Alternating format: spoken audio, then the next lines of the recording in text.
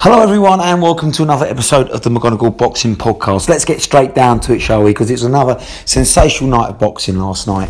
Uh, it really was 73,100 uh, in Texas last night, um, and it was fantastic to see the Dallas Cowboy Stadium. Um, you know, the crowds are back. It's looking like post COVID now, isn't it? It's fantastic. No more lockdowns, no more boxing without crowds now. Let's get the ball moving forward. They've shown the blueprint, they can do it safely. So let's see the rest of the world. Obviously, apart from struggling countries that we know that, who they are at the moment, but you know, the countries that are coming out of it, let's get the ball rolling. Let's get back to normal life. Fantastic to see. Credit to Matchroom Boxing. I know Eddie Hearn has got his critics at times, but listen, he put on a fantastic show last night and no expense um, spared, great production. And DAZN, who have, again had their critics, you know, matched him each way. The production was much better, and they deserve credit for that. However, the commentator, Sergio Mora, uh, the other American um, kind of home commentator that presents it, and Carl Froch, were appalling last night. I don't know what fight they were watching. It's, it's almost like Mora, every time he commentates, he's a sea level fighter at best, and he's a sea level commentator. He's clearly not educated outside of American fighters in the American market, extremely biased towards the home fighter, and he just doesn't offer any insight uh, to the opponent at all. Now, to and Froch, I don't know what it is. He's maybe he's bitter um, that you know he only got one real big fight at the end of his career against you know George Groves. I don't know. Um, maybe he's bitter that you know he didn't fight pound for pound best. Um, or sorry, when he did, he got schooled by Andre Ward. I don't know. Listen, I don't know what Froch's deal is, but he seems to be like this. Um, you know, just completely scores fights inaccurately. Just give Billy Joe two rounds. I don't know what fight they're seeing.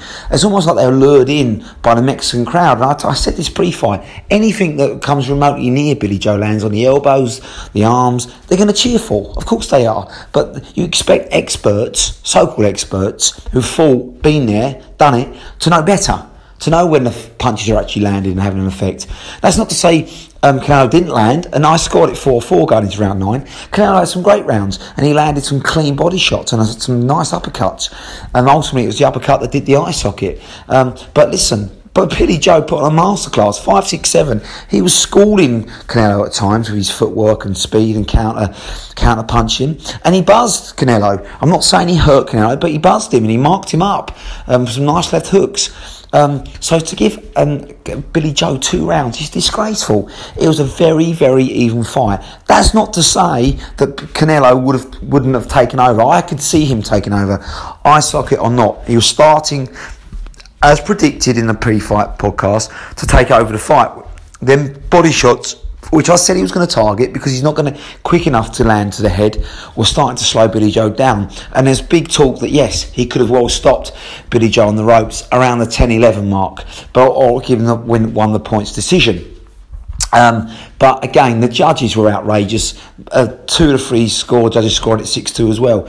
This is the problem you've got against Canelo because the crowd sway so much and he fights in Texas or Vegas, which is pretty much home turf for him now. You're always up against it. So very disappointed with the commentary. Again, very disappointed with the judges. But we knew this going in. We knew it was going to be pro Canelo. What we didn't know is that obviously Billy Joe is clearly world class. He showed that. He's sublime boxing skills at times. He started a bit slow. I agree with Eddie Hearn, but then he started to get into his rhythm but listen, it was a beautiful uppercut that did it. Um, you know, and this was the dangerous punch from um, Canelo and the body shots. And he caught um, uh, Billy Joe, who, let's be honest, does have a history of starting to tire down the late rounds. He did it with Andy Lee, did it with um, Eubank Jr. even. He starts to get tired, and that's where he got caught. He got caught with a beautiful uppercut that did his eye socket. He didn't quit. And it's, you're seeing these, these trolls online now saying, oh, he's a quitter. He's not. You know, that eye was very bad. He couldn't see out of it, and you're going to fight the best fight in the world with one eye. Are you kidding me? Um, Tibbs did the right thing. It was disappointing, of course it was. We're all, we're all disappointed that, you know, the fight ended like it did, but Mark Tibbs made the right fight decision for his fighter. He cares about his fighter. Billy Joe can now go and fight on another day. Went straight to hospital. It was the right thing to do. Even Canelo went back to his corner after he landed that punch in eight rounds. Said, "Listen, this fight's over. There's no way he can continue." So that shows you how bad it was. And the photos speak a million words, don't they? That it was dented in, um, and it's obviously not just the eye; it then caves into the cheekbone. So he's in agony, and you can't see with one eye. You know, you're not going to fight Canelo like that.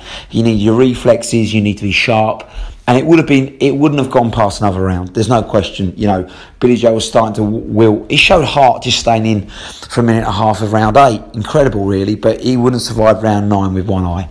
Um, but you know, listen, that's not to say that he would have survived the fight anyway. I was impressed with the power. Canelo punches harder than I even thought. He really does, and you can hear the thuds. He's got great technique and, and uses his whole body, doesn't he? Rotation into these body shots an overhand right. I thought, and it's true at times, Billy Joe did stink Canelo, but I was hoping he'd do a little bit more damage. I think uh, what I feared was Canelo realised seven or eight, this guy can't hurt me, and started to walk him down a bit, which was fearful, um, and he was starting to, you know, get into a rhythm. So I, I, I think it may have well ended uh, around 11. Uh, eye socket on no eye socket, and I think Canelo was ultimately going to take over the fight. I reckon he'd have probably won it 7 5 um, you know, um, later on in in in the um, down the stretch was it not for the eye socket, and that's something Billy Joe needs to work on. He needs to be more active. I still think he's got three, four years, great years left in him, and if he works his way up, he can get in a rematch again. But he needs to go after, you know, the the, the other champions in the division, and hopefully score Eubank Jr. and get a rematch maybe a year or two years down the line. But he needs to work on his stamina down the home stretch. That's his biggest weakness. That's something I feared, and you could see he was starting to get caught more and more, but you know, the skills are there. You could see he was making Canelo miss and making him pay. And Canelo, I said this, his biggest weakness is still his footwork. He's still flat footed at times and still pedestrian like. And this is what he got exposed with Lara, um, got exposed even by Kovalev, and got exposed by Mayweather. A slick boxer who can stay out of range is going to make Canelo struggle. And he looked average at times last night. The crowd was silent, uh, round six, round seven. And so he's not the perfect fighter. He is beatable, but you've got to have the skill set and the resilience and the toughness to do it for 12 rounds because Canelo will keep coming. He's got a great gas engine and he's in his prime. He can throw power punches for 12 rounds. So the blueprint's there. Billy Joe again, a bit like Khan, showed it in stints, didn't he? Mayweather's the only real one who's done it consistently round after round after round. And that's going to be a special fighter who can do that. Andrade has the skill set to do it. I just don't think he has the gas engine, gas tank. Again, I think Andrade will start off well. I think he'll he'll, he'll box Canelo's head off at times. Much slicker, much quicker, great footwork.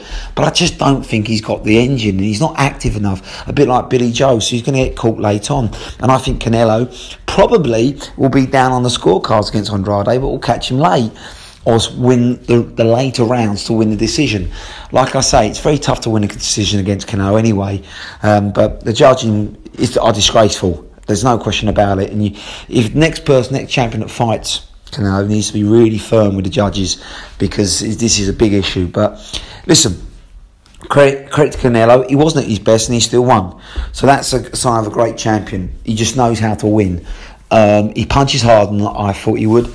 And he's got a good variety. We knew this the body, the uppercut, the overhand right. Um, and we know he's got a good chin. I mean, because being Billy Joe caught him at times and he kept coming. He got marked up as well. Um, but listen, uh, overall, it was a good performance from Billy Joe. I give him a strong seven and a half, eight out of ten.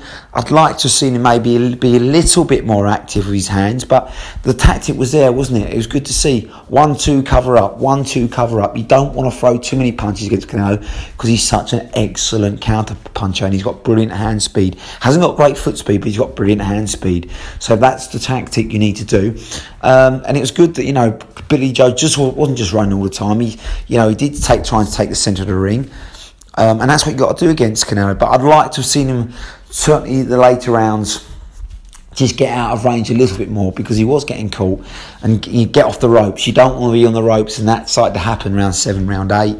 Um, you know, take the centre or around the ring. Don't lean on it too much because that allows Canelo to land in devastating body punches, which he did do. And you could see they were starting to take its toll. Um, and, you know, no one really punches the body anymore, do they, like Canelo does? So, brilliant, brilliant uh, tactic there. And you know, listen, he's going to beat Caleb Plant. He's easily. Um, Billy Joe was the best competition. He's going to beat Benavidez, who hasn't got the experience, the activity, or the variety or skill. He's you know he's just going to beat these guys easily. And I think he stops Plant, so he's going to become the undisputed champion. Credit to him, he deserves it because he hasn't taken any shortcuts. He's beaten them all. Destroyed Callum Smith. This fight was far more competitive than the Callum Smith fight, even though it didn't go to full 12. And Billy Joe's a better fighter than Callum Smith. That's what we saw today evident clearly. Um, but listen, credit Canelo. We didn't cater for a damaged eye socket. How can anyone predict that? But listen, it was the punch, it was the uppercut that did it. Billy Joe was starting to tire, but he deserves full credit. For three rounds, five, six, seven, he showed that Canelo can be beaten. He showed that Canelo does have weaknesses, and after eight rounds, not just me, a lot of people, including Michael Buffer, who had Billy Joe up, scored it minimum four all. So that he deserves credit, especially when you got 70,000 people cheering against you. Hold your head up, Billy Joe. You can come again. It's up to him if he wants to come again now. Obviously, after a big payday, and you know he's probably going to be out Uh, minimum eight months with that eye. Does he want to come again at 32? I hope he does. I still believe he's got a few years left. I still think he's got some big fights left. And I still think if he, impresses within big fights, he can get the rematch. Credit. Canelo goes on to the undisputed now. I think he's going to be Caleb Plant. And then, you know, he'll probably move up to light heavy. But for now, credit both fighters. A fantastic event. And we go again ready for Joshua Fury now.